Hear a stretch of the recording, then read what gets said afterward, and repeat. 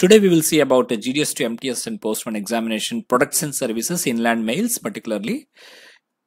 ఈ వీడియోలో inland mails సంబంధించి ఇన్ఫర్మేషన్ అయితే చూద్దామండి that will be useful for GDS to MTS and postmen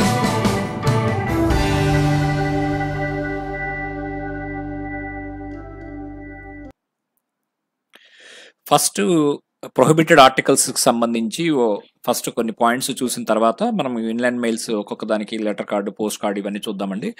Gold coin or bullion or gold ornaments or articles of gold or both of value exceeding one lakh rupees shall not be transmitted by post అనమాట ఇది గత వీడియోలో twenty thousand అని చెప్పినట్టున్నాను. అది latest update వచ్చేసరికి ఇది one lakh rupees అండి. Gold coin bullion gold ornaments అనేటువంటివి వన్ ల్యాక్ రూపీస్ దాటితే కనుక అలౌ ట్రాన్స్మిషన్కి అలౌ చేయరనమాట లెస్ దాన్ వన్ ల్యాక్ ఉండాలి. ఎందుకంటే ఇది సమానంగా చేసే చేశారు. ఇన్సూరెన్స్కి అమౌంట్ వన్ ల్యాక్ అని మనకు తెలుసు కదా దానికి సమానంగా చేశారనమాట దానికి సంబంధించి అప్డేట్ అనేటువంటిది ఇండియా పోస్ట్ వెబ్సైట్లో అప్డేట్ చేశారు. అలాగే coins currency notes bank notes గురించి కూడా చాలామంది అడుగుతున్నారు. ఇందులో ఏంటంటే ఈ ఇది వరకు ఇది ట్వంటీ థౌజండ్ అట్లా ఉండేది దాన్ని కూడా మార్చారు. దానికి ఇప్పుడు ఏం లిమిట్ ఏం పెట్టలేదు. దానికి ఏమంటున్నారంటే అలౌ అలౌ చేయరు. జనరల్గా coins currency notes bank notes అనేటువంటివి.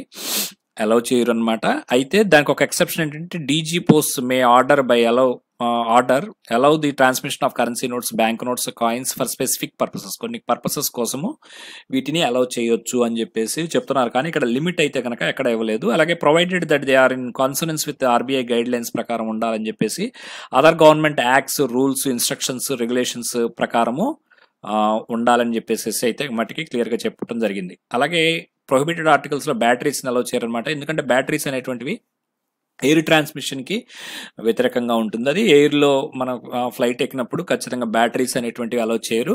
అట్లాగే ఈ సర్ఫేస్ మోడ్లోనే పంపించాల్సి ఉంటుంది అనమాట అలాంటివి. అలాగే లాటరీస్ ఉంటాయి కదా లాటరీస్ గవర్నమెంట్ లాటరీస్ అయితే అలౌ చేస్తారు కానీ మామూలు లాటరీస్ అయితే మట్టికి దానికి సంబంధించినటువంటివి కరస్పాండెన్స్ అలౌ చేయరు. అలాగే ఎక్స్ప్లోజివ్స్ నార్కోటిక్స్ డ్రగ్స్ ఇట్లాంటివి కూడా ప్రొహిబిటెడ్ ఆర్టికల్స్లో ఉన్నాయనేటువంటిది గుర్తుపెట్టుకోవాలి. అలాగే కొన్ని ప్రొహిబిటెడ్ ఆర్టికల్స్లో కొన్ని అలౌ చేస్తారనమాట వాటికి సంబంధించిన కండిషన్స్ కూడా ఇప్పుడు చూద్దాము. హ్యూమన్ అండ్ అదర్ వెసరా అని చెప్పేసి అంటారు. వెసరా అంటే ఏం లేదంటే ఇంటర్నల్ ఆర్గాన్స్ అనమాట ఏదైతే సాఫ్ట్ ఆర్గాన్స్ ఉంటాయో హార్ట్ కిడ్నీ ఇట్లాంటి లివర్ ఇట్లాంటివి అనమాట వాటిని కెమికల్ ఎగ్జామినర్స్ ఫర్ అనాలిసిస్కి పంపించడానికి అయితే అవకాశం ఉంటుంది. అలాగే plague culture and anthrax spore vaccine కూడా పంపించుకోవచ్చు. కాకపోతే హెర్మెటికల్లీ క్లోజ్డ్ కండిషన్లో మెడికల్ కమిషన్ మెడికల్ ఆఫీసర్ ద్వారా పంపించాల్సి ఉంటుంది అనమాట ట్యూబర్క్లోసిస్ స్పోటం స్పోటం అంటే ఉమ్ అనమాట టీబీకి సంబంధించి ఉమ్మును కూడా ఎగ్జామిన్ చేయడానికి పంపించవచ్చు స్పిల్ ప్రూఫ్ గ్లాస్ గ్లాస్ మెటల్లో పంపించాలన్నమాట. Wax paper containing securely packed in tin or wooden బాక్స్లో ఈ గ్లాస్ని పంపించి చేయొచ్చు అనమాట అలాగే స్ట్రాంగ్ స్మెల్లింగ్ ఆర్టికల్స్ అన్నమాట. బాగా ఘాటైన వాసన ఉన్నటువంటివి అసఫిటిడా అంటే కనుక ఇంగువ. ఇలాంటివి కూడా హెర్మిటికలీ సీల్డ్లో పంపించవచ్చు ఈ ఈ హెర్మిటికలీ సీల్డ్ అనేటువంటిది టిన్ ఆర్ మెటల్ అనేటువంటిది గుర్తుపెట్టుకోవాలి. ఇది మీకు plague culture and anthrax spore వ్యాక్సిన్లో వస్తుంది. అలాగే స్ట్రాంగ్ స్మెల్లింగ్ ఆర్టికల్స్లో కూడా వస్తుంది అనమాట non inflammable or safety cinematographic films ఏవైతే ఉంటాయో అవి నాన్ ఇన్ఫ్లేమబుల్ అయితే కనుక white label bearing safety films non inflammable అని చెప్పేసి పంపించుకోవచ్చు అనమాట ఇన్ ప్లెయిన్ బ్లాక్ లెటర్స్లో రాసి అవుట్ సైడ్ ద పార్సల్ రాసి పంపించాలన్నమాట ఇది. సేఫ్టీ ఫిలిమ్స్ నాన్ ఇన్ఫ్లేమబుల్ అనే మాట రాస్తారు. అలాగే osmic acid or oxy osmium tetroxide అని చెప్పేసి అంటది దాన్ని కూడా hermetically sealed stout glass stout అంటే థిక్గా ఉండేటువంటి గ్లాస్ క్యాప్సూల్లో పెట్టి దాన్ని వుడెన్ బాక్స్లో పెట్టి దానికి రెడ్ లేబుల్ అనేటువంటిది ఇంపార్టెంట్ అండ్ రెడ్ లే రెడ్ లెటర్స్లో ఆస్మిక్ యాసిడ్ అని రాసి పంపించవచ్చు అలాగే పెర్ఫ్యూమ్స్ కూడా అలౌ చేస్తారు through spirituous preparation having in some cases as flash point thirty five point six or ninety six F or below and greater strength than sixty UP may be transmitted by inland post అనమాట ఇవి prohibited articles సంబంధించి స్థూలంగా కొన్ని important points.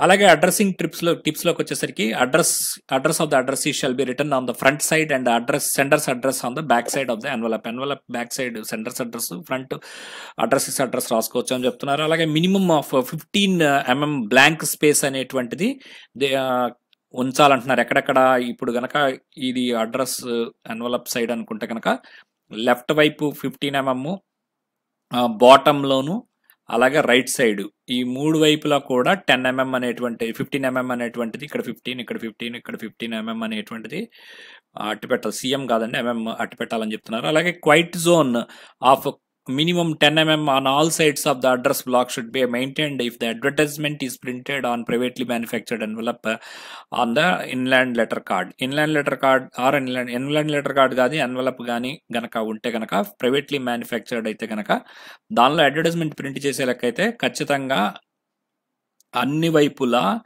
Ten MM అయితే ఖాళీ అట్టి పెట్టిన తర్వాత మాత్రమే ఇన్సైడ్ లోపల అడ్వర్టైజ్మెంట్ అనేటువంటిది ప్రింట్ చేసుకోవచ్చు అని చెప్పేసి చెప్తున్నారు అనమాట ఈ అడ్రసింగ్ ట్రిప్స్లో కొన్ని ఇంపార్టెంట్ పాయింట్స్ అనమాట ప్రొడక్ట్స్ అండ్ సర్వీసెస్కి. అలాగే గ్రామ్స్ వచ్చేసరికి aerogramme three grams maximum weight. Inland letter card వచ్చేసరికి five grams letter pattern and sample packets two KGs unregistered parcel four pack book packet five blind literature seven బీఓస్కి parcels అయితే registered parcel అయితే ten KG. అలాగే registered parcel SOs and HOs అయితే కనుక twenty kgs అనమాట ఇప్పుడు coming to the production services of inland వచ్చేసరికి మనకి post cards ఉంటాయి. పోస్ట్ కార్డ్స్లో రెండు వెరైటీస్ ఒకటి single card reply post card అనేటువంటి తెలుసు. అవి ఇండియాలోనే ట్రాన్స్మిషన్ అవ్వాలి. కార్డ్స్ అనేటువంటివి. డైమెన్షన్స్ వచ్చేసరికి fourteen by nine centimetres length and breadth privately manufactured cards కూడా ఇదే రేంజ్లో ఉండాలన్నమాట. అంబాసిడర్ పోస్ట్ కార్డ్ అంటే మనకి ఆల్రెడీ ఉన్న ప్రింట్ అయినటువంటి పోస్ట్ కార్డ్ దానిలోనే నిబిడీకృతం ఉంటుంది ఆ ఫిఫ్టీ పైసా అనేటువంటిది స్టేజ్ అలాగే ప్రింటెడ్ పోస్ట్ కార్డ్స్ అనేటువంటివి కూడా ప్రింటింగ్ కానీ సైక్లో స్టైలింగ్ కానీ ఎనీ అదర్ మెకానికల్ ప్రాసెస్లో చేస్తే కనుక దాన్ని ప్రింటెడ్ పోస్ట్ కార్డ్ అంటారు. ఆ ప్రింటెడ్ పోస్ట్ కార్డ్స్ అనేటువంటివి ఇంక్లూడ్స్ ప్రింటెడ్ పిక్చర్స్ కూడా ఉండొచ్చు అనమాట అందులో రెండు వెరైటీలు సింగిల్ రిప్లై కార్డ్ అనేది డైమెన్షన్స్ సేమ్ మామూలు పోస్ట్ కార్డ్ లాగే fourteen by nine Meghdoot post card అనేటువంటిది దాంట్లో మనకి అడ్వర్టైజ్మెంట్స్కి స్కోప్ ఉంటుంది. అడ్వర్టైజ్మెంట్స్ ఫోర్ కలర్స్లో వేసుకోవచ్చు. ఇది ఇంపార్టెంట్ ఫోర్ కలర్స్ అనేటువంటిది. అలాగే రెండు వెరైటీస్ ఉంటాయి సింగిల్ రిప్లై ఇందులో కూడా fourteen by nine inland letter కార్డ్కి వచ్చేసరికి మీకు communication is content on sheet paper మనకు తెలుసు. అది విత్ ఇన్ ఇండియా అనే జనరల్గా ఉంటుంది. అలాగే land letter card should be paper of minimum seventy GSM అనేటువంటిది ఇంపార్టెంట్ అలాగే ఫైవ్ గ్రామ్స్ అనేది తెలిసిందే. బ్లైండ్ లిటరేచర్ ప్యాకెట్ సరికి సెవెన్ కేజీస్ మ్యాక్సిమం అనమాట బ్రెయిలీ లిపి పంపించుకోవచ్చు. అట్లాగే size and packing should be same of book packets ఇది ఇంపార్టెంట్ అండి. బ్రైన్ లిటరేచర్కి సైజ్ అండ్ ప్యాకింగ్ దేనికి సమానంగా ఉంటుందంటే కనుక బుక్ ప్యాకెట్స్కి సైజ్ అండ్ ప్యాకింగ్ ఏదైతే ఉందో దీనికి కూడా బ్లైండ్ లిటరేచర్ కూడా అదే అనమాట it must be sent to only blind పర్సన్స్కి మాత్రమే పంపించాలి. No return and printed communication అనేటువంటిది ఎన్క్లోజ్ చేయకూడదు. ఎక్సెప్ట్ కొన్ని చేయొచ్చు అనమాట ఏంటవి అంటే కనుక title and table of contents చేయొచ్చు. ఇంపార్టెంట్ అండి ఇది. అలాగే key and key or instructions చేయొచ్చు. అలాగే లేబుల్ ఫర్ రిటర్న్ ప్యాకెట్ అనేటువంటిది కూడా రైటింగ్లో ఉండొచ్చు అనమాట మిగతా అన్ని కూడా ఏది అంతా కూడా బ్లైండ్ లిటరేచర్ మాత్రమే ఉండాలి. దీనికి ఫ్రీ ట్రాన్స్మిషన్ అనేటువంటిది అలౌ చేస్తారు బ్లైండ్ లిటరేచర్లో. అందులో మీకు రిజిస్ట్రేషన్ ఫీ ఫ్రీ ఉంటుంది. అట్లాగే రిజిస్టర్డ్ రసీట్ ఏదైతే అక్నాలజ్మెంట్ ఫ్రీ ఉంటుంది రిజిస్ట్రేషన్ ఛార్జెస్ ఫ్రీ ఉంటుంది పోస్టేజ్ ఫ్రీ ఉంటుంది అన్ని ఫ్రీ ఉంటుంది except for the air air surcharge అనమాట ఎయిర్ సర్చార్జ్ మట్టికి కట్టాల్సి ఉంటుంది అనమాట సర్ఫేస్గా వెళ్తే మట్టికి ఫ్రీ ఉంటుంది అనమాట ఇది బ్లైండ్ లిటరేచర్ ప్యాకెట్లో ఇంపార్టెంట్ పాయింట్స్ అనమాట ఇవి అలాగే లెటర్కి సంబంధించి చూస్తే కనుక two KGs maximum means any communication enclosed in envelope and address అని చూసారు కదా. Dimensions not binding on letters sent to or received from any country అలాగే envelopes must have flap on the top of top on the back of the longer side and not on the left or right కాబట్టి flap అనేటువంటిది ఏదైతే longer side ఉంటుందో అటువైపు మాత్రమే flop ఉండాలి అని చెప్పేసి చెప్తున్నారు. Envelopes should be made of paper with thickness అనేటువంటిది కనుక చూస్తే ఎన్వలప్స్కి మినిమం వచ్చేసరికి జీరో పాయింట్ ఎయిట్ ఎంఎం అలాగే మ్యాక్సిమం వచ్చేసరికి పాయింట్ వన్ ఎయిట్ ఎంఎం అనమాట ఇవన్నీ కూడా డీజీ గారు ప్రిస్క్రైబ్ చేయొచ్చు. ఈ లెటర్ కంటెంట్స్ ఏముండాలి అనేటువంటిది కానీ అడ్రస్లో ఏ ప్లేసెస్కి చేయొచ్చు చేయకూడదు అనేటువంటిది కూడా ఇవ్వచ్చు అనమాట అలాగే బుక్ ప్యాకెట్కి సంబంధించి ఫైవ్ కేజెస్ అనమాట maximum limit. No personal communication అనేటువంటిది బుక్ ప్యాకెట్లో ఉండకూడదు. పర్సనల్ కమ్యూనికేషన్ ఏమి ఉండకూడదు.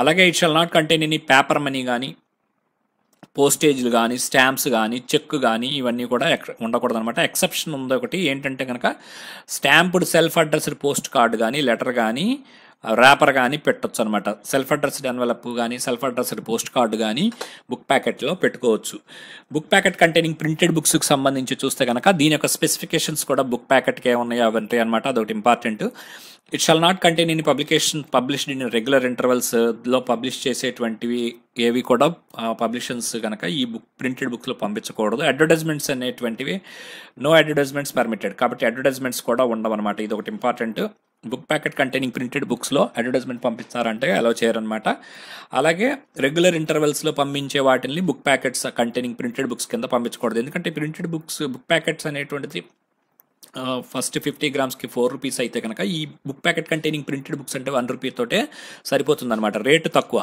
కాబట్టి అది అడ్వర్టైజ్మెంట్స్ని కానీ రెగ్యులర్ ఇంటర్వెల్స్లో పబ్లిష్ అయ్యేటువంటి ఐటమ్స్ని కానీ అలౌ చేయరనమాట బుక్ ప్యాకెట్ కండిషన్స్ మామూలుగా ఉంటాయి.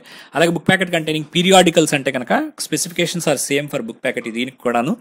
The contents shall be periodicals registered with registered newspapers of in India the first and last page of periodical shall have the superscription registered with register of newspapers of India under seal number printed on it ఏవైతే periodicals ఉంటాయో వాటిలో ఏంటనమాట RNI registered newspapers of India తోటి ఉన్న register అయినటువంటి వాటిల్ని పంపించుకోవచ్చు అనమాట under periodicals అయితే ఇందులో first page or last page first page or last page and కాదండి.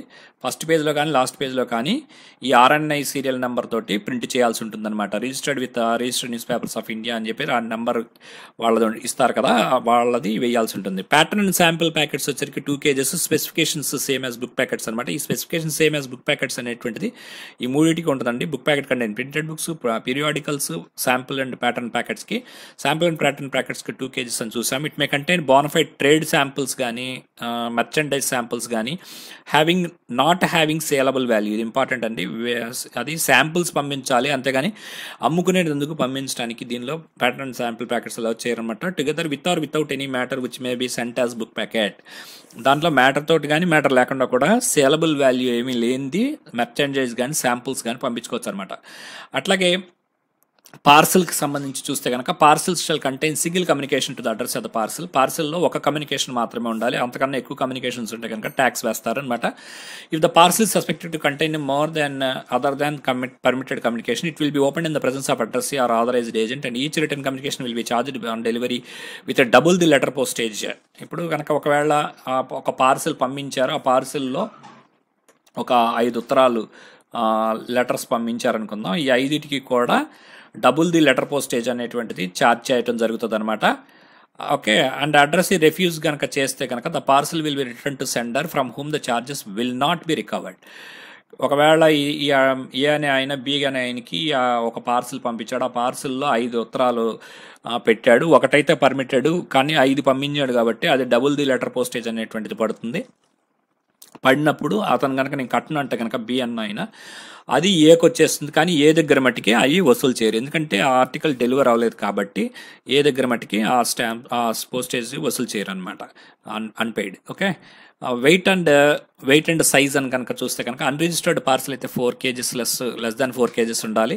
రిజిస్టర్డ్ పార్సల్ అయితే కనుక టెన్ కేజెస్ లెస్ ఉండాలి బీఓస్కి registered parcel twenty kgs less ఉండాలి ఎస్ఓ అండ్ హెచ్ఓస్కి లెంత్ అండ్ గ్రిత్ కనుక లెంత్ వచ్చేసరికి పార్సల్కి వచ్చేసరికి one metre less than length and girth combined అయితే one one point eight zero అనమాట ఇంటర్నేషనల్కి ఏంటో కనుక మనం వీడియో చూస్తుంటే కనుక కామెంట్స్లో చెప్పండి. ఇంటర్నేషనల్కి ఎంత లెంత్ అండ్ గ్రిత్ ఎంత ఉంటుంది లెంత్ ఎంత ఉండాలి అనేటువంటి తెలిస్తే అలాగే any parcel found in letter box will be treated as registered parcel కింద ట్రీట్ చేస్తారు. పార్సల్ కనుక లెటర్ బాక్స్లో పెడితే కనుక దాన్ని రిజిస్టర్డ్ పార్సల్ కింద చేసి దానికి ట్యాక్స్ వేస్తారనమాట డబుల్ ద డెఫిషియన్సీ వేసి ఎర్రర్ బుక్లో అంటించి రసీదుని దాన్ని పంపిస్తారనమాట అలాగే compensation for international parcels already చూసాం మనము.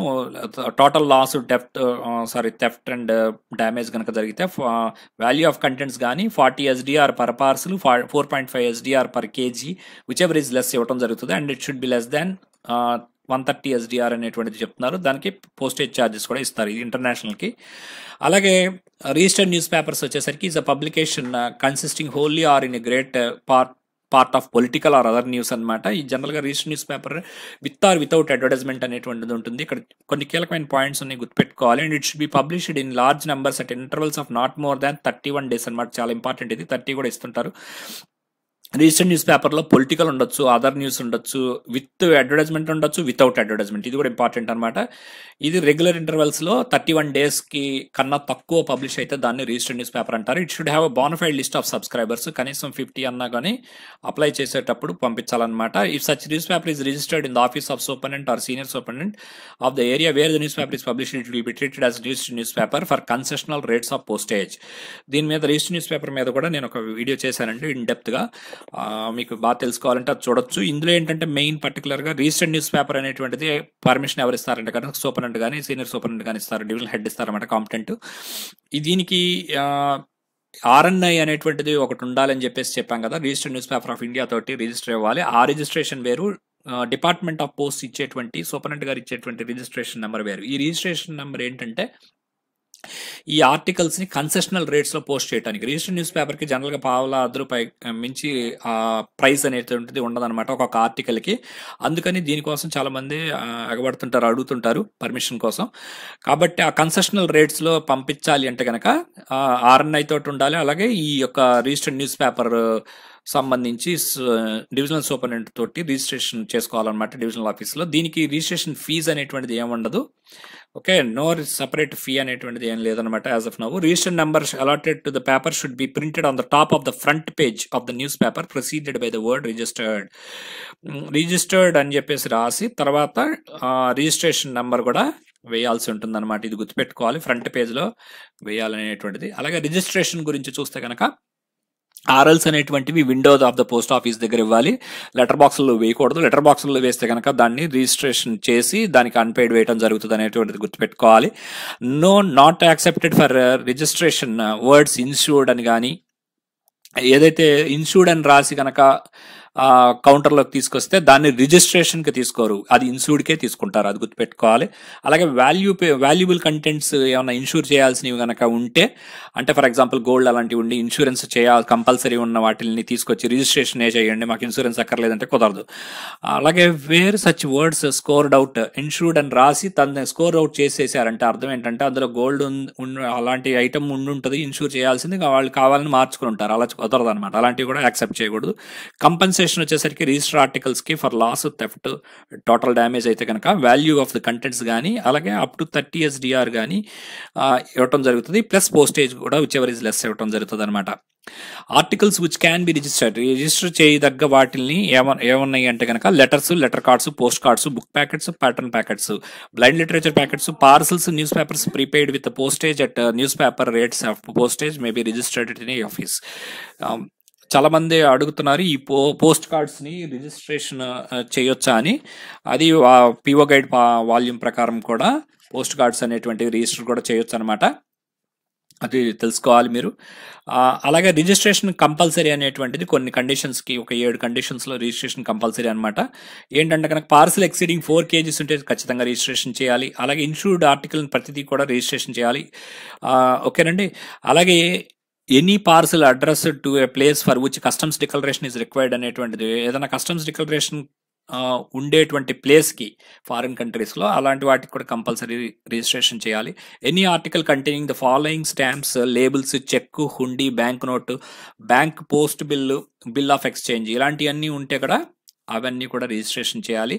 Any article bearing the word registered on the cover registered అని రాసి లెటర్ బాక్స్లో వేస్తే దాన్ని కూడా రిజిస్టర్ చేయాలి. లేకపోతే రిజిస్టర్డ్ అని రాసి ఇచ్చి పంపించండి ఆర్డినరీ అంటే కూడా పంపించరు అనమాట any registered article which is reposted after having been delivered ఒక రిజిస్టర్ ఆర్టికల్ డెలివరీ అయిపోయింది.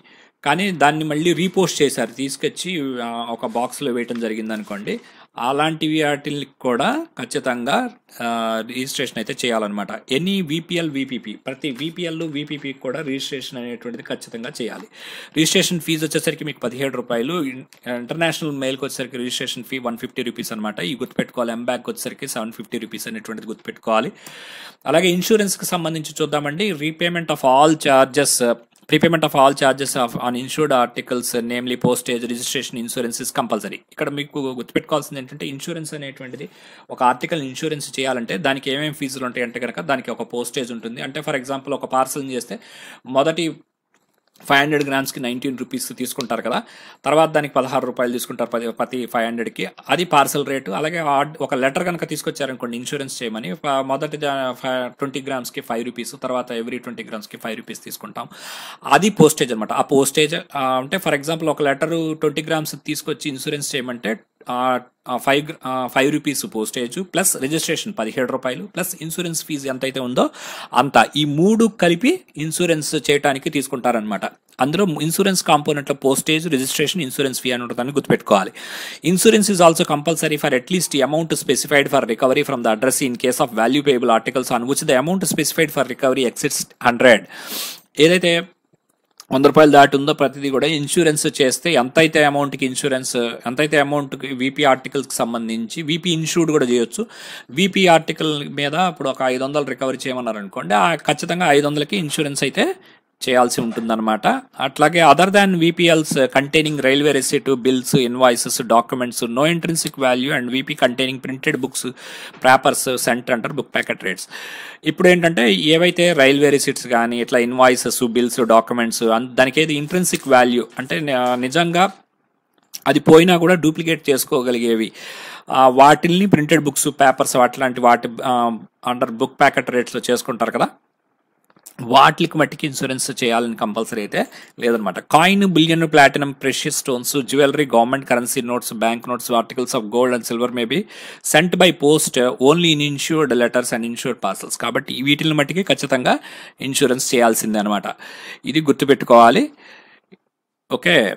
ఇది ఒక్కొక్క చోట హండ్రెడ్ ఉందండి. కొన్ని చోట్ల ఫిఫ్టీన్ హండ్రెడ్ ఉంది. కాబట్టి ఫిఫ్టీన్ హండ్రెడ్ తీసుకోండి. తర్వాత which what article can be insured అంటే కనుక ఆర్ఎల్స్ చేయాలి విపి ఆర్టికల్స్ రిజిస్టర్ చేయాలి రిజిస్టర్డ్ పార్సల్స్ చేయాలి వాల్యూ పేయబుల్ రిజిస్టర్డ్ పార్సల్స్ని కూడా ఇన్సూరెన్స్ చేసుకోవచ్చు అనమాట ఆర్ఎల్స్ వచ్చేసరికి మీకు ఇన్సూరెన్స్ లిమిట్ అనేటువంటిది కూడా ఉంది. బీఓస్కి అయితే కనుక six hundred HOs and SOs అయితే వన్ ల్యాక్ మించి ఇన్సూరెన్స్ చేయడానికి లేదు. అందుకనే మీకు ఫస్ట్ స్లైడ్లో చెప్పాను కదా ఇన్సూరెన్స్ వన్ ల్యాక్ ఉండటం వల్ల ఈ గోల్డ్ కాయిన్స్ ఇవన్నీ కూడా వన్ ల్యాక్ మించితే కనుక పంపించడానికి లేదనేటువంటిది చెప్పడం జరిగింది. Insurance value shall not exceed the real value of the contents of the article ఏదైతే రియల్గా ఒక యాభై వేలు ఉండి దాని ఇన్సూరెన్స్ అనేటువంటిది అరవై వేలకు చేస్తామంటే కుదరదు అనమాట articles containing gold gold coin bullion currency notes ఇవన్నీ కూడా యాక్చువల్ వాల్యూ ఆఫ్ కంటెంట్స్ దాని యొక్క వాల్యూ ఎంత ఉందో అంతకి ఖచ్చితంగా చేయొచ్చు అని చేయాల్సిందే అనమాట ఓకేనండి RLs VPs registered parcels value payable registered పార్సల్స్ని insurance చేసుకోవచ్చు.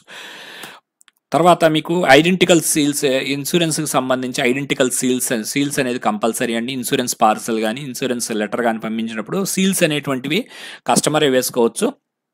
అవి ఐడెంటికల్ సీల్స్ సేమ్ ఉన్నవి వ్యాక్స్ తోటి వేయాలి ప్రైవేట్ మార్క్ ఉంటే అవి కూడా వేసుకోవచ్చు. ఎక్కడ ఓపెన్ చేసినా కూడా ఓపెన్ అవ్వకుండా ఉండేట్టుగా సరిగ్గా సీల్స్ వేసుకోవాలి. లేబుల్ అనేటువంటిది no label of any kind should be affixed by the sender to cover to such a cover cut out labels with frank impressions as postage may be accepted.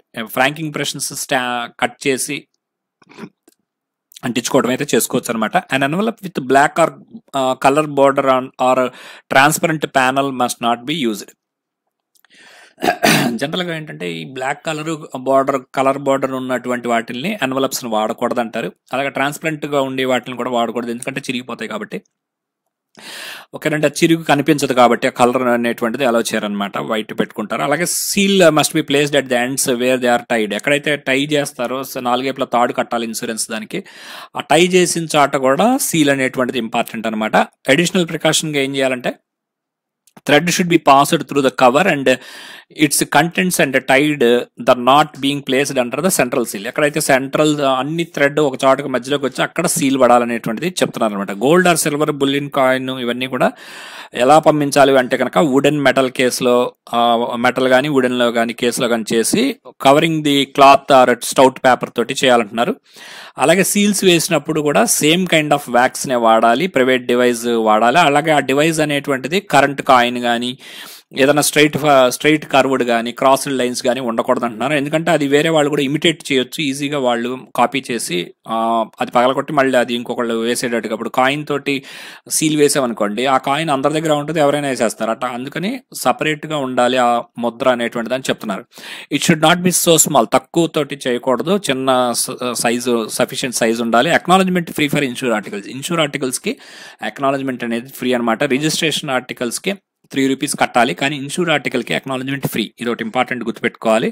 Question scope ఉంటుంది. Compensation will be paid one month after the date of on which the intimation of loss is given by the sender to the post office except in cases in which head of the circle may consider the circumstances demand the withholding of the ఎంక్ payment pending enquiry one month అనేటువంటిది one month after the date of loss అయిన తర్వాత one month తర్వాత payment అని compensation అనేటువంటిది ఇన్సూరెన్స్కి ఇవ్వడం జరుగుతుంది అనమాట అయితే కనుక లాస్ అయినప్పుడు compensation in no case exceeds the value of the article. Value of the article కన్నా మించి ఇవ్వకూడదు ఇన్కరెక్ట్ ఇన్కంప్లీట్ అడ్రస్ కనుక రాస్తే కనుక కంపన్సేషన్ ఇవ్వని కేసులు కూడా ఉంటాయి. కంపన్సేషన్ ఇవ్వని ఏంటంటే ఇన్కరెక్ట్ ఇన్కంప్లీట్ అడ్రస్ రాసినా కానీ సెండర్ కానీ అడ్రస్ కానీ ఒక ఫ్రాడ్ బట్టిన కానీ అలాగే డెలివరీ అయిపోయిన తర్వాత అతను రెసీట్ కూడా ఇచ్చేసిన తర్వాత కంపెన్సేషన్ క్లెయిమ్ అంటే కుదరదు.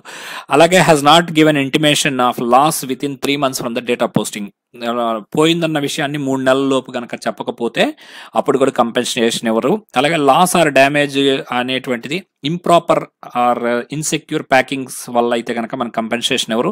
ఈ అలాగే no visible damage to the covers or seals and it is being understood that the sender must so pack the letter or parcel that it contents may not be cannot be touched without visible damage as four four sets can be caused ఒకవేళ sealed covers అవన్నీ కూడా visible damage ఏమీ లేకపోతే కనుక అప్పుడు కూడా ఇవ్వరు అనమాట అలాగే సరిగా ప్యాకింగ్ చేయకపోయినా ఎవరు గోల్డ్ కాయిన్ ఇవన్నీ కూడా not insured for the actual వాల్యూకి చేయకుండా అరవై వేలు ఉంది.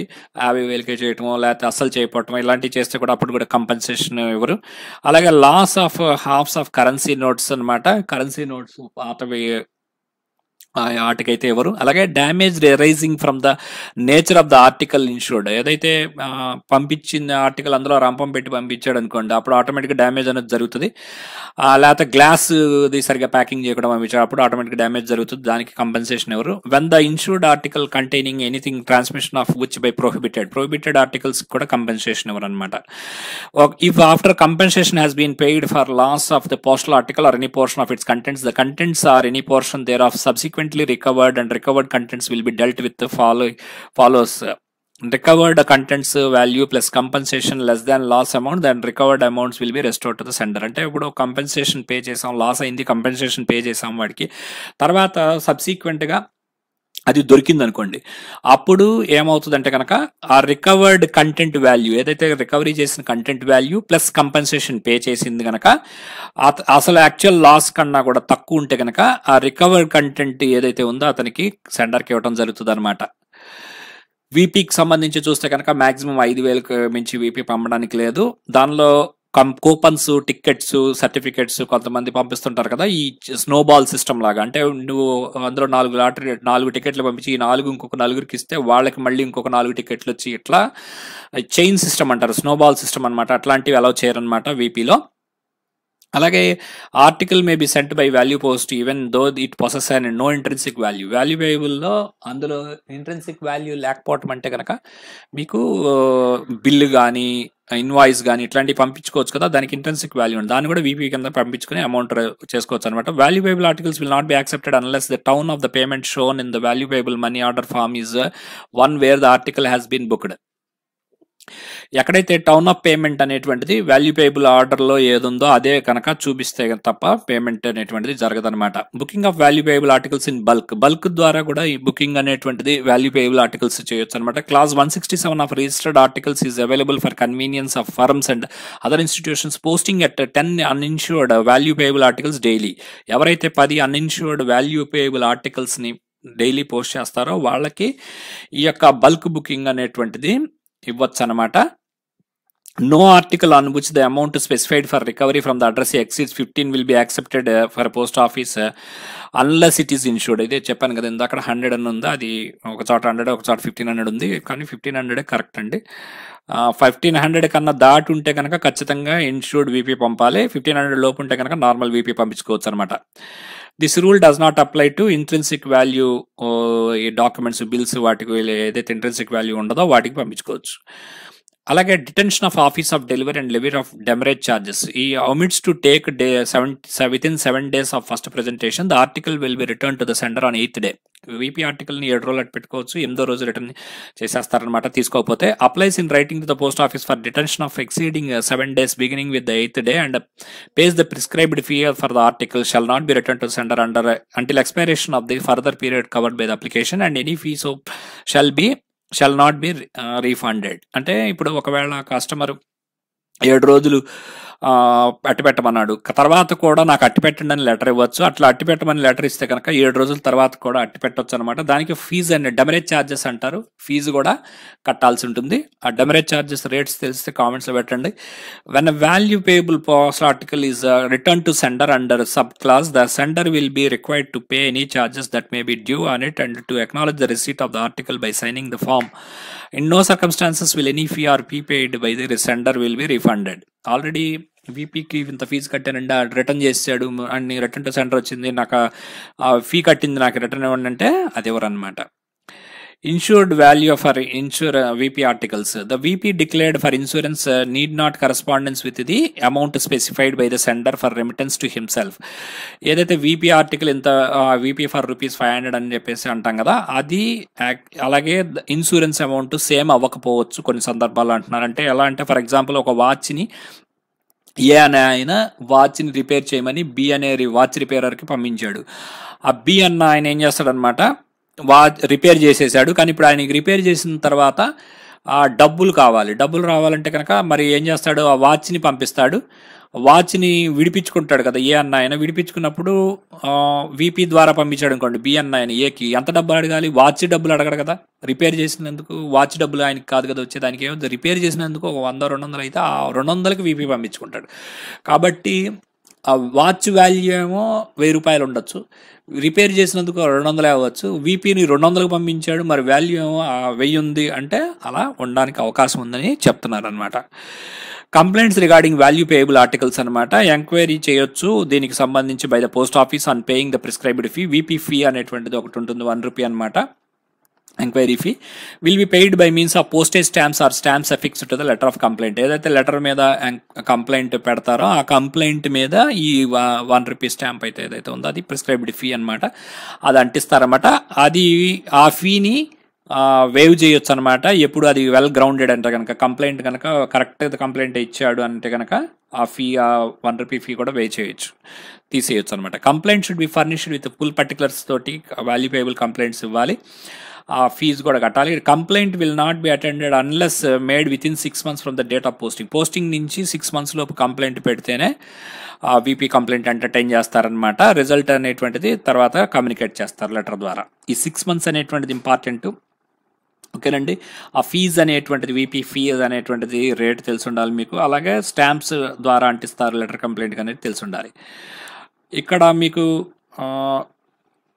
if a complaint is made by the address immediately after receipt of value payable article that is sent dishonestly or fraudulently by the head fraudulently the head of the circle may if he satisfied that there is a prime officer grounds for believing the value of the value payable postal article was sent in the intention to defrauding the address withhold the payment ఇప్పుడు ఏంటంటే ఒకళ్ళు కొంతమంది కావాలని VP article పంపిస్తారు ఫ్రాడ్లెంట్గా డిస్హానెస్ట్గా ఆ విషయం కనుక head of the సర్కిల్కి తెలిస్తే కనుక ఆయన ఆపేసేసి ఆ అమౌంట్ కనుక ఆల్రెడీ పేమెంట్ ఇచ్చేసినా కూడా ఆపి వెనక్కి ఇప్పించవచ్చు అనమాట అది చేయొచ్చు. సెంట్రల్ గవర్నమెంట్ అనేటువంటిది shall not incur any liability in respect of amount specified for remittance to the sender in respect of value payable articles unless until the sum has been received for remittance to the sender in respect of value payable within six months from the date of posting ఆరు నెలలు లోపు కనుక claim పెట్టుకోకపోతే మనం ఏం చేయలేమనేది చెప్తున్నారనమాట ఇక్కడ మీకు చూస్తే కనుక ప్రొడక్ట్స్ అండ్ సర్వీసెస్లో మనకి బిజినెస్లో కూడా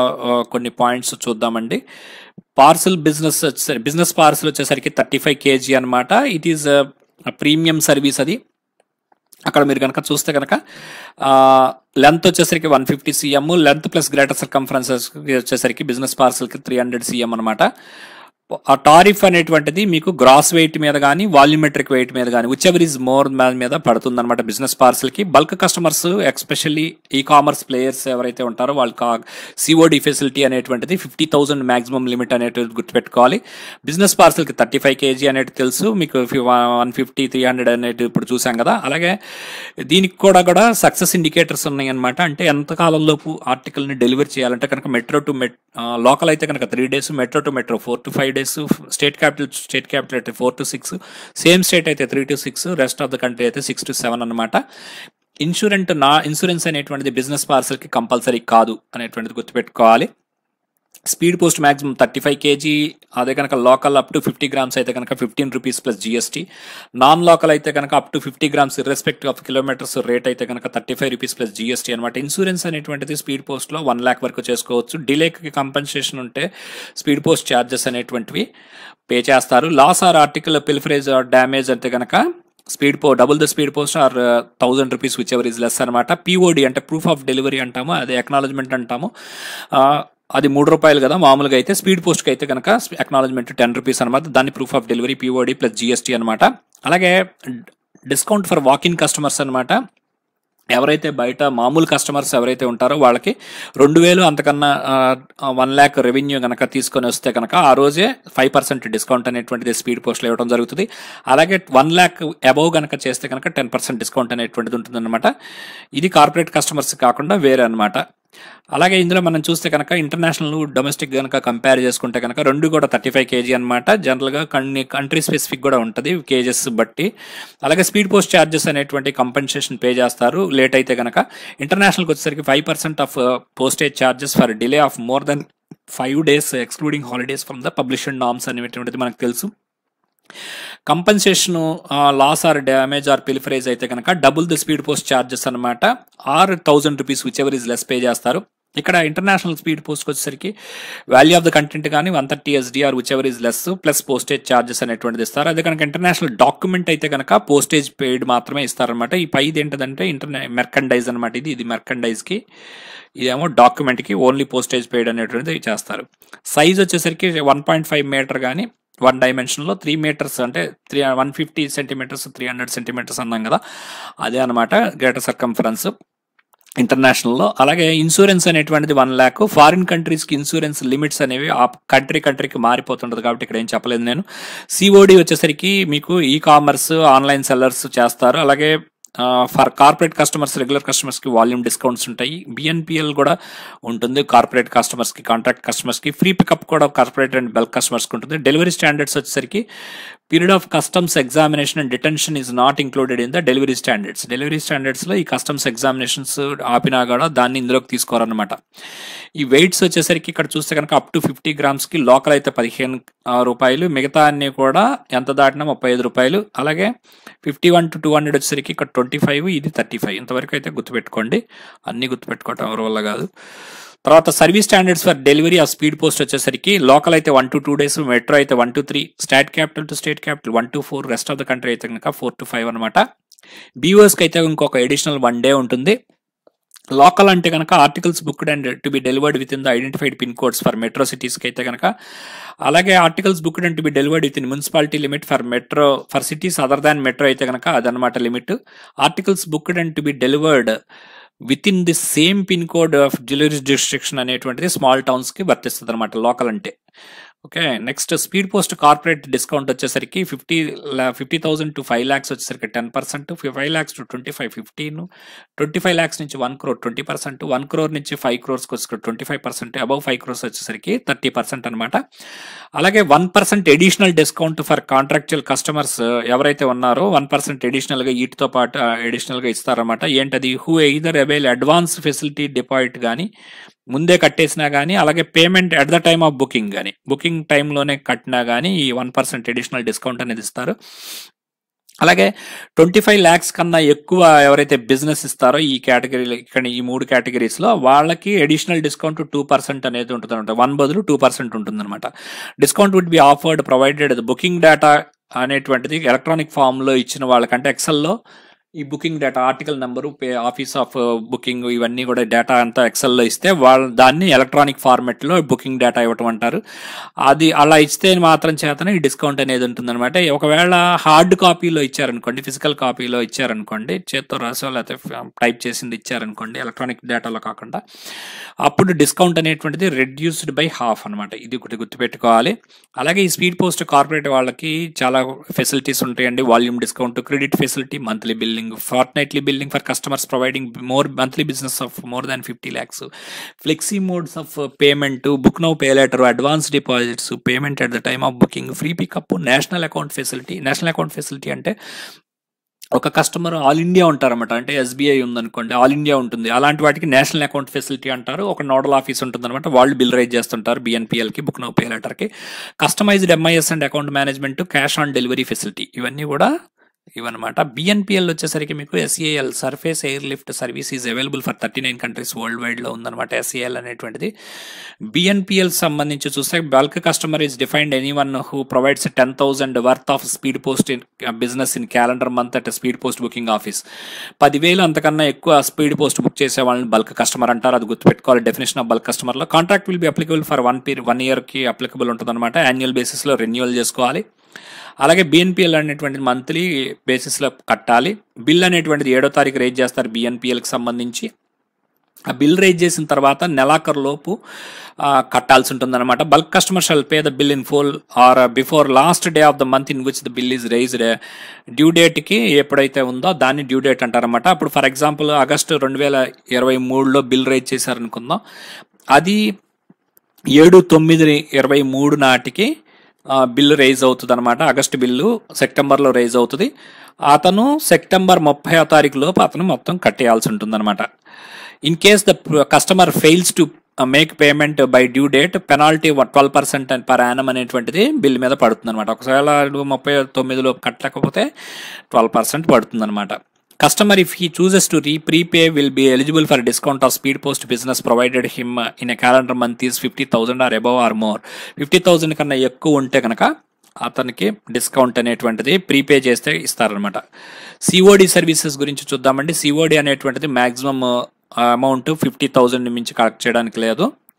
At the time of delivery of consignments fifty thousand వరకు పంపించుకోవచ్చు. ఈ యొక్క సిఓడి ఫెసిలిటీకి సంబంధించి అడిషనల్ ఫీజ్ అనేటువంటిది రేట్స్ మారినాయి అనమాట ఇది ఇంపార్టెంట్ లేటెస్ట్ ఇవి. Amount to be recovered from the address నుంచి రికవర్ చేయాల్సిన అమౌంట్ కనుక ఆరు వేల ఐదు వందల లోపు ఉంటే కనుక సిఓడికి సంబంధించి one point six percent of the amount recovered or fifty percent which అనేటువంటిది విచ్ ఎవర్ ఇస్ మోర్ అంట ఇక్కడ ఇది ఉందా లేదా అనేది చూడాలి. అలాగే above six thousand five hundred అంటే కనుక hundred plus one percent of the amount exceeding five thousand అనమాట ఈ సిఓడికి సంబంధించి క్లారిటీని నేను ఫస్ట్ కామెంట్లో పెడతాను చూడండి. ఈ one point six percent of the amount recovered అనేది ఉంది. ఈ ఫిఫ్టీ రూపీస్ అనేటువంటిది నాకు కొంచెం డౌట్ ఉంది నేను చెప్తాను మీకు. ఓకే అండి ఇదొకటి.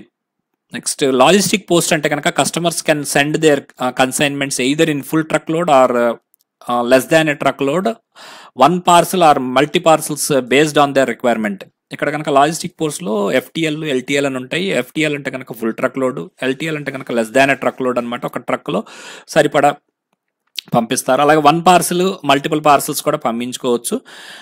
లాజిస్టిక్ పోస్ట్లో ఈ పేమెంట్ అంటే కనుక is small portion of business or organisations to collect their bills through post office network అంటే telephone bills electricity bills examination fees tax university fees school fees ఇవన్నీ కూడా ఈ పేమెంట్ ద్వారా పంపించుకోవచ్చు అనమాట ఓకేనండి. ఇక్కడ మీకు రేట్స్ వచ్చేసరికి ఈ పేమెంట్కి థౌసండ్ రూపీస్ లోపు ఉంటే కనుక five rupees thousand to two thousand five hundred ten rupees two thousand five hundred to five thousand fifteen rupees five thousand above అయితే కనుక ట్వంటీ రూపీస్ అనేటువంటిది వసూలు చేస్తాం జరుగుతుంది అనమాట బిజినెస్ పోస్ట్ గురించి చూద్దామండి. Cost effective and professional mailing services including collection mail of customer premises franking inserting sealing addressing ఇవన్నీ కూడా ప్రీమెయిలింగ్ యాక్టివిటీస్ అంటారు. వాళ్ళకి ఫ్రాంకింగ్ చేసి పెడతాము సీలింగ్ చేసి పెడతాము అడ్రసింగ్ చేస్తాము కవర్ మూత గమ్ వేస్తాము ఇవన్నీ కూడా ఎల్ఐసి వాళ్ళు ఎస్బీఐ ఇట్లాంటి వాళ్ళందరూ కూడా వాడుకుంటారన్నమాట. బీపీసీస్ అనేటువంటివి సెటప్ చేయడం జరిగింది బిజినెస్ పోస్ట్ సెంటర్స్. అక్కడ జరుగుతుంది అనమాట దానికి కూడా రేట్స్ ఉంటాయి. అన్రిజిస్టర్డ్కి ఒక రేటు రిజిస్టర్డ్కి ఒక రేట్ అనమాట కలెక్షన్ ఫ్రమ్ ద ప్రెమిసెస్ మనం వెళ్ళి కలెక్ట్ చేసుకొచ్చినందుకు ఇక్కడ థర్టీ పైసా ఫర్ అన్రిజిస్టర్డ్ రిజిస్టర్డ్కి ఫిఫ్టీ పైసా. ఫ్రాంకింగ్ అయ్యేసరికి అన్రిజిస్టర్డ్ ఫార్టీ ఫిఫ్టీ ఈ రెండింటికి కూడా ఫిఫ్టీ అనమాట అడ్రస్సింగ్కి గుర్తుపెట్టుకోవాలి ఇది. Sealing point two inserting point two ఇట్లా ఉన్నాయన్నమాట.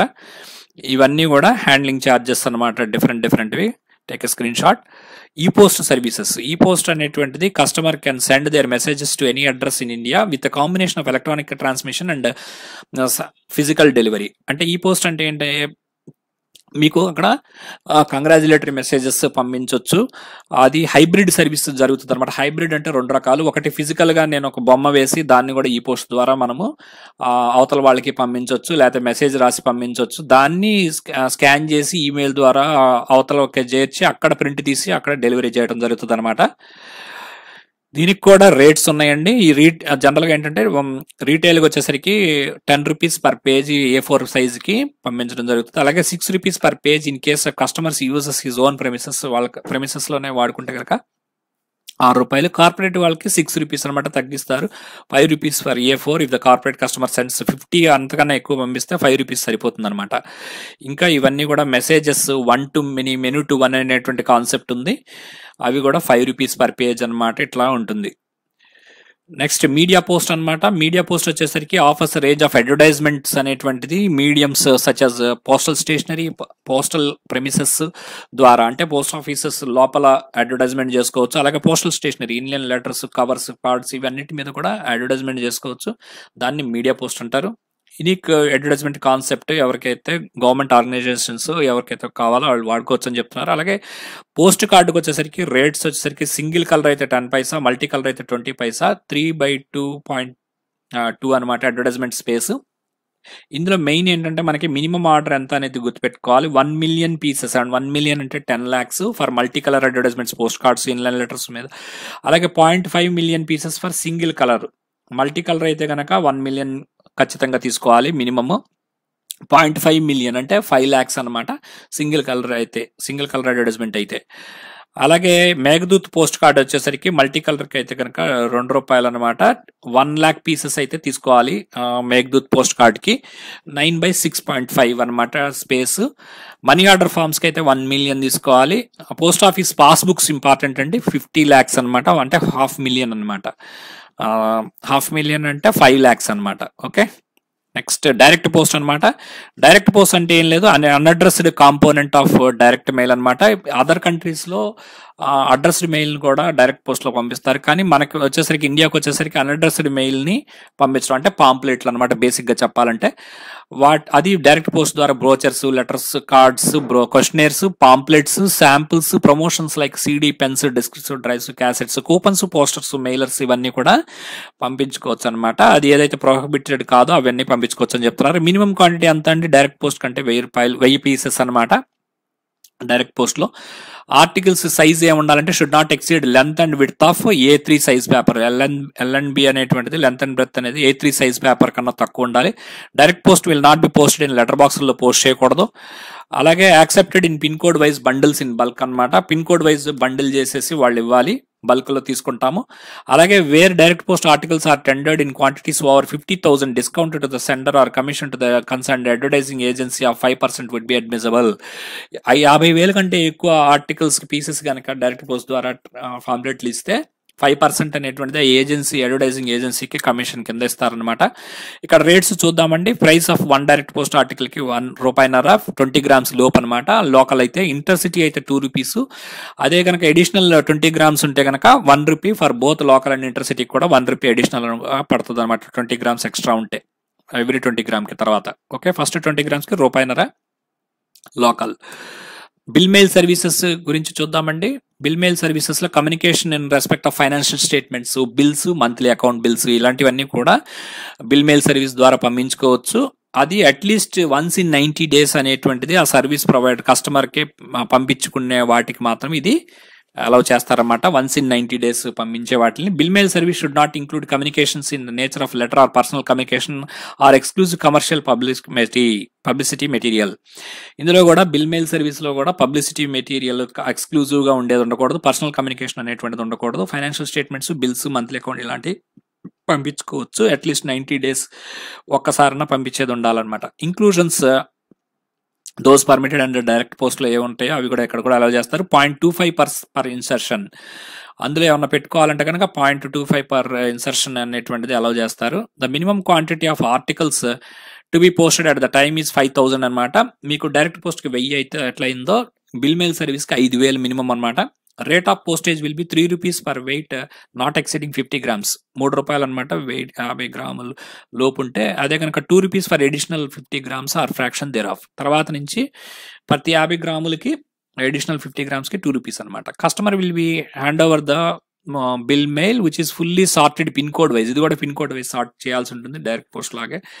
And bundled delivery post office wise identified and there is no credit facility దీనిలో బిల్ మెయిల్ సర్వీస్లో క్రెడిట్ ఫెసిలిటీ అనేది లేదు అప్పు రేపు. ఓకే పోస్టల్ రేట్స్ గురించి చూద్దామండి. మీకు ఇక్కడ పోస్ట్ కార్డ్ వచ్చేసరికి ఫిఫ్టీ పైసా రిప్లై కార్డ్ వచ్చేసరికి one rupee. Meghdoot post card వచ్చేసరికి పాయింట్ టూ ఫైవ్ పైసా పావలా అనమాట ప్రింటెడ్ కార్డ్ వచ్చేసరికి సిక్స్ రూపీస్ అనమాట inland card two and half rupees. తర్వాత లెటర్ వచ్చేసరికి ట్వంటీ గ్రామ్స్కి five rupees. Additional twenty గ్రామ్స్కి five rupees. Book pattern sample ప్యాకెట్స్కి వచ్చేసరికి four rupees fifty gram first fifty గ్రామ్స్కి తర్వాత అడిషనల్ ఫిఫ్టీ గ్రామ్స్కి త్రీ రూపీస్ అనేది గుర్తుపెట్టుకోవాలి ఈ greeting కార్డ్స్కి book packets containing printed books అనేటువంటివి కనుక ఉంటే కనుక మాక్సిమం వెయిట్ ఫైవ్ కేజెస్ అనమాట అందులో ఫస్ట్ హండ్రెడ్ గ్రామ్స్కి వన్ రూపీ తర్వాత ఎవ్రీ హండ్రెడ్ గ్రామ్స్ కూడా వన్ రూపీ అనేటువంటిది గుర్తుపెట్టుకోవాలి. అందుకనే ఇంత ప్రింటెడ్ బుక్స్కి తక్కువ రేట్ పడుతుంది అనమాట బుక్ ప్యాకెట్ కంటే కూడా.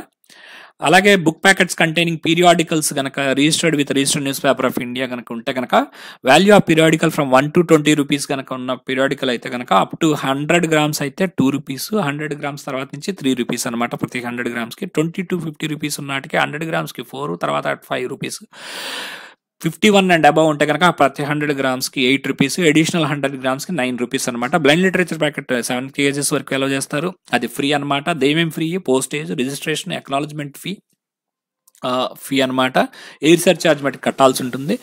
పార్సల్స్ మినిమమ్ ట్వంటీ కేజెస్ బియో అయితే కనుక టెన్ కేజెస్ అలాగే for weight not exceeding five hundred గ్రామ్స్కి nineteen rupees additional five hundred గ్రామ్స్కి sixteen rupees అనమాట Singh registered news papers must be registered with the department of post అయితే కనుక single కాపీకి వచ్చేసరికి weight not exceeding fifty grams అయితే twenty five paisa.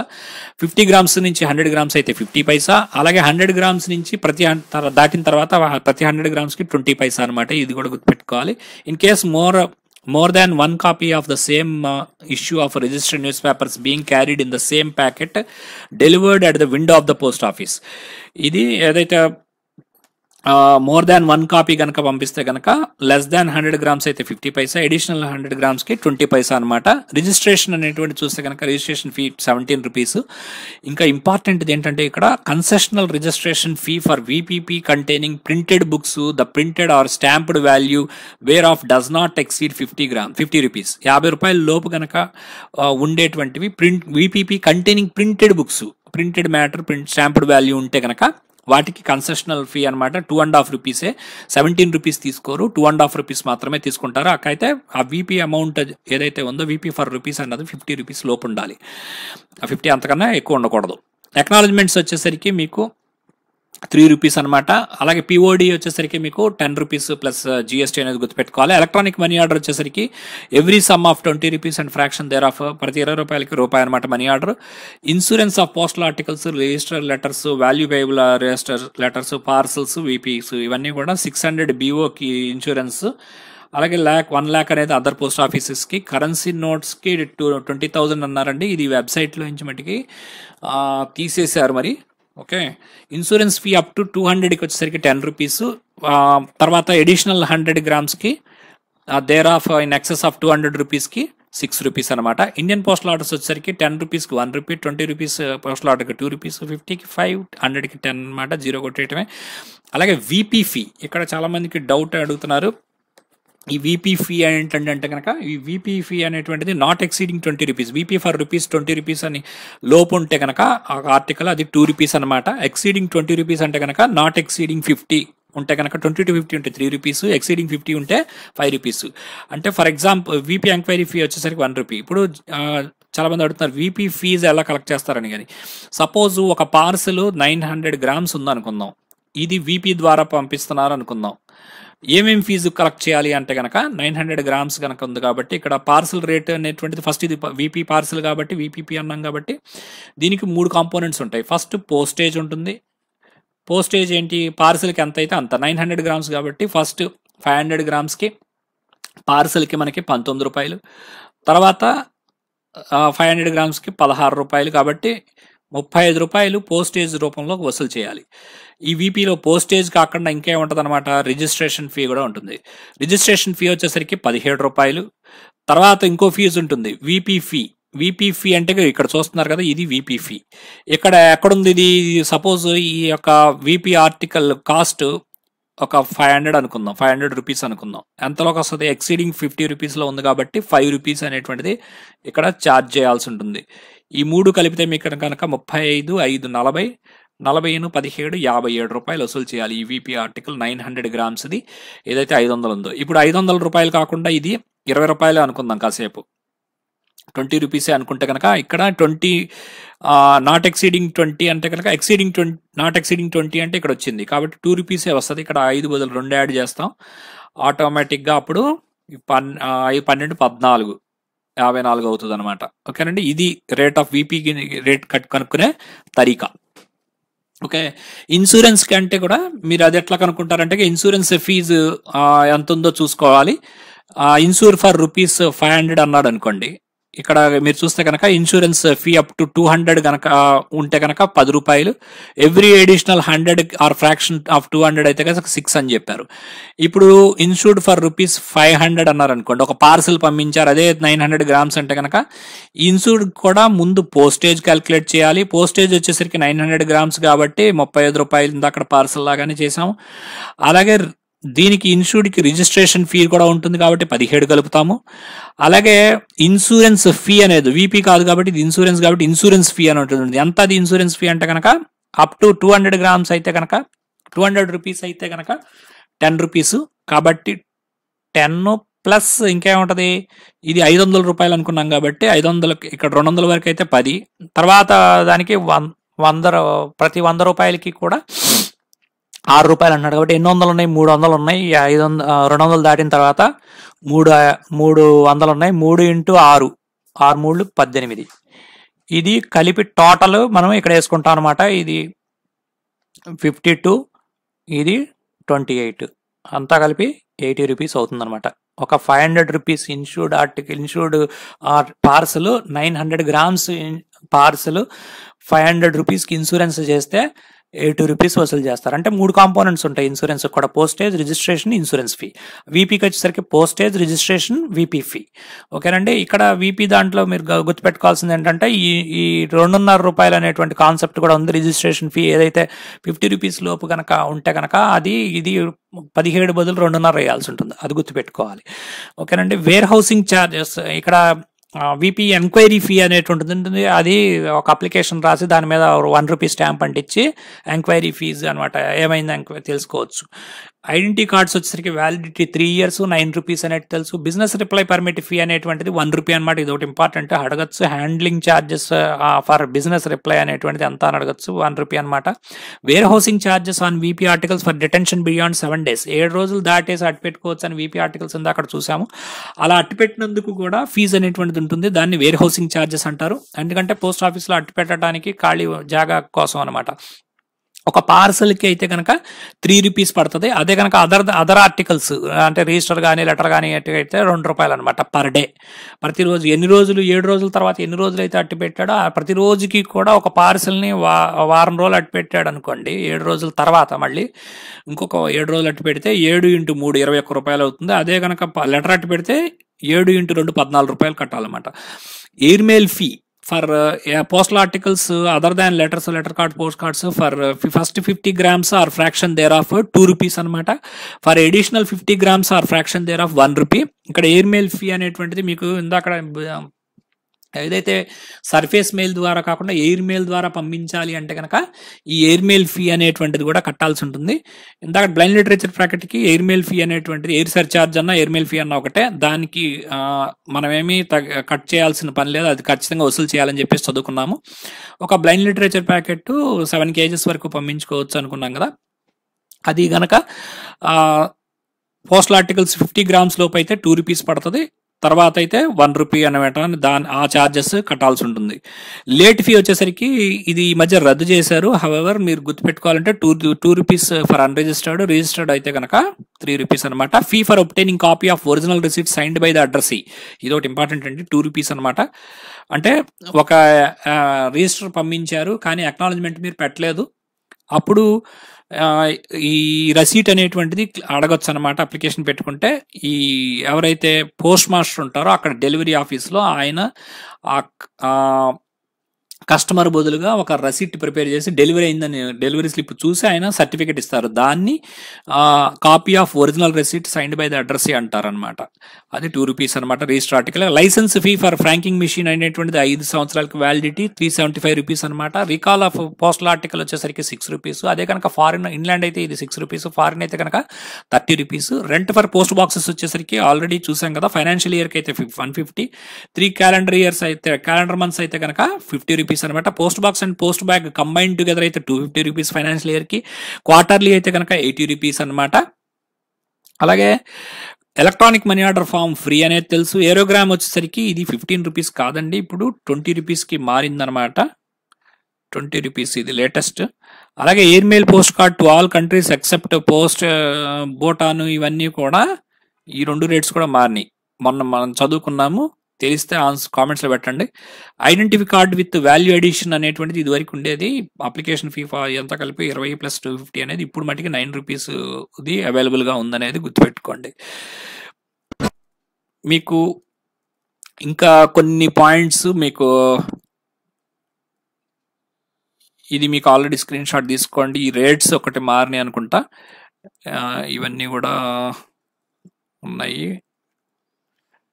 ఇది దీన్ దయాల్ స్పర్శ యోజన గురించి ఒకసారి కొన్ని ఇంపార్టెంట్ పాయింట్స్ చూద్దాం. దీన్ దయాల్ స్పర్శ యోజన అంటే ఈ స్పర్శ అంటే ఏంటని అడుగుతారు. Scholarship for promotion of aptitude research in stamps as a hobby అనమాట దీన్ దయాల్ స్పర్శ యోజన అనేటువంటిది ఒక అవార్డు చిన్న పిల్లలకి ఏ- స్కూల్ ఏ క్లాస్ నుంచి ఏ క్లాస్కి ఆరు నుంచి తొమ్మిది తరగతుల వరకు ఇది ఎలా గుర్తుపెట్టుకుంటారంటే కనుక ఆరు తిరగేస్తే తొమ్మిది ఆరు టు తొమ్మిది అనేటువంటిది గుర్తుపెట్టుకోండి. And scholarship for promotion of aptitude and research as a hobby అనేటువంటిది యాన్యువల్ స్కాలర్షిప్స్ ఈ ఫిలాటలీని ప్రమోట్ చేయడానికి పిల్లల్లో ఇస్తున్నారు అది.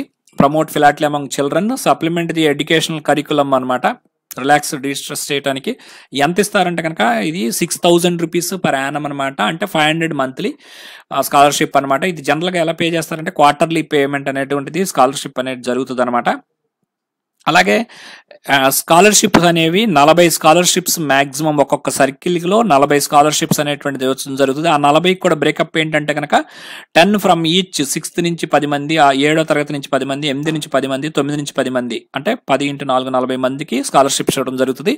ఆల్ ఓవర్ ఇండియాలో ఎంతమందికి ఇస్తారంటే కనుక తొమ్మిది వందల ఇరవై మందికి స్కాలర్షిప్స్ ఇవ్వడం జరుగుతుంది. Pan India selections to scholarships would be once in a year once in a year జరుగుతుంది. Philately mentor would be renowned philatelist అనమాట ఫిలాట్లీ మెంటర్ అని ఒక ఆయన ఉంటారు. రెనౌండ్ ఫిలాట్లిస్ట్ని పెడతారు. Student should be member of the philately club or open PDA account అనేటువంటిది open చేయాలి. ఫిలాట్లీ క్లబ్ మెంబర్ అన్న ఉండాలి లేకపోతే ఫిలాట్లీ డిపాజిట్ అకౌంట్ అన్న ఓపెన్ చేయాలి. ఫిలాట్లీ డిపాజిట్ అకౌంట్కి రెండు వందలు అని తెలుసు మీకు మినిమం ఫీజు అలాగే ఈ దీన్ దయాల్ స్పర్శ యోజనలో ఇంకో పాయింట్ అంటే at least sixty percent in the last exam ఏదైతే ఆయన ఆరో ఏడో తరగతి చదువుతున్నారు అనుకోండి ఆరో తరగతిలో కనీసం అరవై పర్సెంట్ అన్న వచ్చి ఉండాలన్నమాట. ఎస్సీ ఎస్టీ అభ్యర్థులకి ఫైవ్ పర్సెంట్ రిలాక్సేషన్ అంటే ఫిఫ్టీ ఫైవ్ వచ్చినా సరిపోతుంది. ఇక్కడ ఇవన్నీ కూడా పాయింట్స్ కవర్ చేయడం జరిగింది. ఎలిజిబిలిటీ కండిషన్ అయితే కనుక మీకు చూసారు కదా ఫిలాటలీ క్లబ్లో మెంబర్ అయి ఉండాలి. లేకపోతే అతను పీడ ఫిలాటలీ డిపాజిట్ అకౌంట్ అన్న ఓపెన్ చేయాలి. ఇవన్నీ కూడా చూడటం జరిగింది. ఇవన్నీ కూడా కవర్ చేయడం జరిగింది. పాయింట్స్ అన్నీ కూడా. Commemorative stamps eleven commemorative stamps Ramayanam మీద వేశారు రెండు వేల పదిహేడులో. ఇది వెబ్సైట్లో ఇది కనబడుతుంది అనమాట డెఫినెటివ్ స్టాంప్స్ అంటే ఏంటనమాట డే టు డే మెయిలింగ్ యాక్టివిటీస్కి వాడే వాటిని డెఫినెటివ్ స్టాంప్స్ అంటారు. ఏవైతే కమమరేటివ్ స్టాంప్స్ అంటే ఇంపార్టెంట్ ఈవెంట్స్ పర్సనాలిటీస్ మీద వేసే వాటిని కమమరేటివ్ స్టాంప్స్ అంటారు. ఫ్లోరా ఫోనా ఎన్విరాన్మెంటల్ అగ్రికల్చర్ ఇవన్నీ కూడా చేయొచ్చు. రోజువారీ వాడే రూపాయి గాంధీ స్టాంప్ అనేటువంటిది డెఫినెటివ్ స్టాంప్ కింద వస్తుంది. నేషనల్ ఫిలాట్లిక్ మ్యూజియం న్యూఢిల్లీలో ఉంది.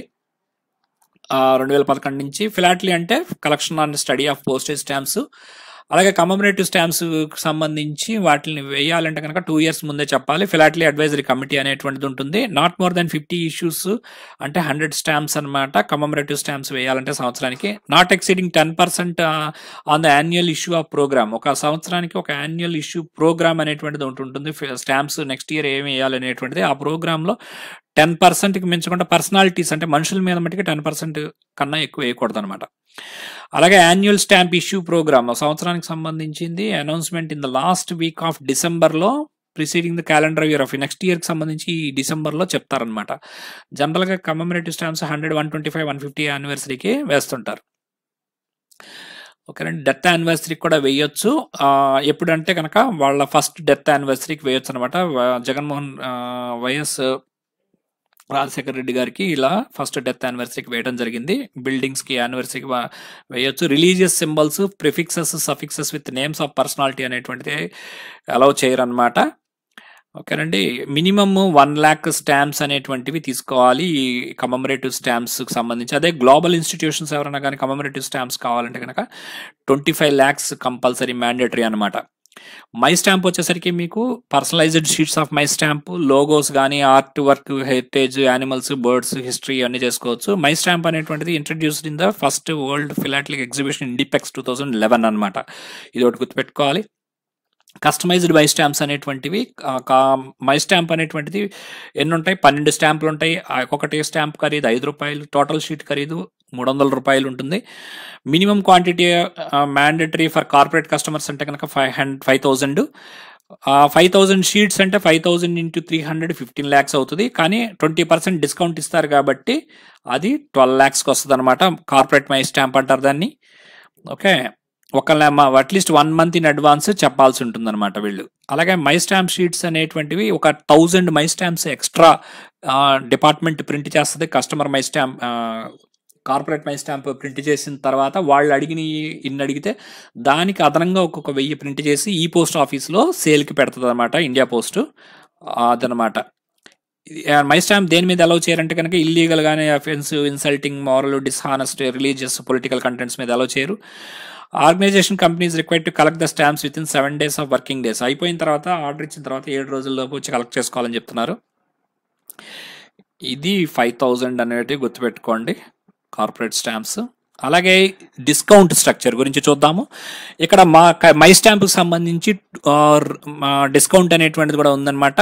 Two to hundred my stamps కనుక తీసుకుంటే టెన్ పర్సెంట్ డిస్కౌంట్ ఇస్తారు. తర్వాత వంద పైన స్టాంపులు తీసుకుంటే కనుక మొదటి వంద స్టాంపులకి కూడా ten percent discount.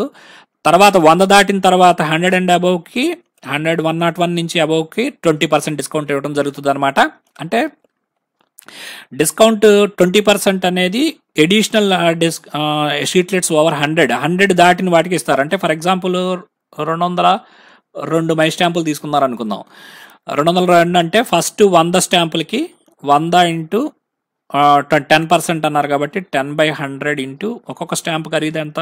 Ten percent of what ఎంత? త్రీ హండ్రెడ్ రూపీస్ కదా. అలాంటివన్నీ హండ్రెడ్ స్టాంప్స్. కాబట్టి ఇది మూడు వేల రూపాయలు. అనేది డిస్కౌంట్గా వంద స్టాంపులకు వస్తుంది. కానీ ఇంకెంత ఉన్నాయి నూట రెండు ఉన్నాయి ఇంకా ఎక్స్ట్రా. ఈ నూట రెండుకి ఎంత ట్వంటీ పర్సెంట్ డిస్కౌంట్ అనేటువంటిది వస్తుంది. కాబట్టి ట్వంటీ బై హండ్రెడ్ ఇంటూ ఒక్కొక్కటి మూడు వందలు అనేటువంటిది ఇవ్వటం జరుగుతుంది. ఇక్కడ మీరు చూస్తే ఇది సున్నా సున్నా పోయి ఇక్కడ పోయింది. ఇది అరవై రూపాయలు అనమాట ఇది గుర్తుపెట్టుకోండి. అరవై రూపాయలు అనేటువంటిది ట్వంటీ పర్సెంట్ కాబట్టి అరవై రూపాయలు వస్తుంది మూడు వందల మీద. అరవై ఇంటూ నూట రెండు మీరు అది లెక్కేయండి. ఆ రెండు కలిపితే కనుక మీకు టోటల్ అమౌంట్ అనేటువంటిది రావడం జరుగుతుంది అనమాట ఓకేనండి? అది క్యాలిక్యులేషన్ పద్ధతి. ఫిలాటరీ డిపాజిట్ అకౌంట్ అనేది వన్ ఎయిట్ నైన్టీన్ సిక్స్టీ ఫైవ్లో స్టార్ట్ చేశారు. గుర్తుపెట్టుకోవాలి. ఫస్ట్ డే కవర్స్ అంటే ఎఫ్డీసీస్ అంటారు. అలాగే ఫిలాట్లీ కౌంటర్స్ అనేవి హెడ్ పోస్ట్ ఆఫీసెస్లో ఉంటాయి. ఫిలాట్లీ డిపాజిట్ అకౌంట్కి రెండు వందల రూపాయలు అనేది గుర్తుపెట్టుకోవచ్చు. అది క్యాష్ ద్వారా కానీ మనీ ఆర్డర్ ద్వారా కానీ చెక్ ద్వారా కానీ డ్రాఫ్ట్ ద్వారా కానీ పంపించవచ్చు అనమాట అలాగే mode of dispatch and charges for dispatch of philatelic items ఏదైతే ఫిలాట్లీ ఐటమ్స్ ఉంటాయో డబ్బులు కట్టిన తర్వాత వాటికి స్టాంప్స్ ఇవ్వాలి కదా ఆ స్టాంప్స్ ఎలా ఇస్తారంటే కనుక ఫ్రీ ఆఫ్ పోస్టల్ సర్వీసెస్లో రిజిస్టర్ పోస్ట్ ద్వారా ఫ్రీ ఆఫ్ కాస్ట్ పంపించవచ్చు అనమాట ఇది ఇంపార్టెంట్. రిజిస్టర్ పోస్ట్ ద్వారా free of cost. On postal service పంపించవచ్చు. గైడ్ లైన్స్ దీనికి సంబంధించి అంత ఇంపార్టెంట్ కాదు. ఓకేనండి? ఇది స్థూలంగా మీకు ఇందులో ఈ వీడియోలో మీకు ఇన్లాండ్ తర్వాత బిజినెస్కి సంబంధించి లాజిస్టిక్ పోస్ట్ డైరెక్ట్ పోస్ట్ ఇవన్నీ కూడా కవర్ చేయడం జరిగింది. అట్లాగే మీకు స్టాంప్స్కి సంబంధించి ఫ్లాట్లీ స్టాంప్స్ తర్వాత డెఫినెటివ్ స్టాంప్స్ అంటే ఏంటి? మై స్టాంప్ అంటే ఏంటి? కార్పొరేట్ స్టాంప్ అంటే ఏంటి? కార్పొరేట్ మై స్టాంప్ అంటే ఏంటి? ఆ క్యాల్ డిస్కౌంట్ స్ట్రక్చర్ ఏంటి? ఇవన్నీ కూడా మీకు ఇన్లాండ్ సర్వీసెస్ ప్రాహిబిషన్ ఆర్టికల్స్ ఇవన్నీ కూడా ప్రొడక్షన్ సర్వీసెస్లో కవర్ చేయడం జరిగింది. ఇంకేదన్నా టాపిక్ మీద కావాలంటే కనుక కామెంట్స్ సెక్షన్లో పెట్టండి. Thank you subscribe to career post